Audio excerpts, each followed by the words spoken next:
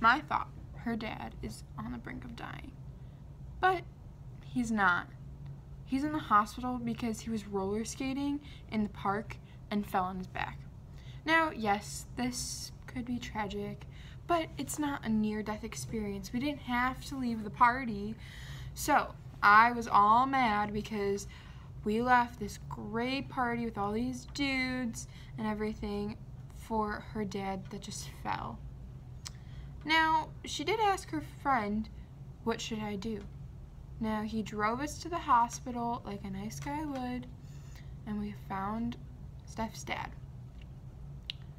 Now, at that point, I kind of felt weird for just being there, so I just sat in the lobby for the rest of the night. It was kind of awkward just being by myself. Um, Steph then came back a few hours later with her friend, who I still don't understand is with her, saying, okay, my dad's fine and everything.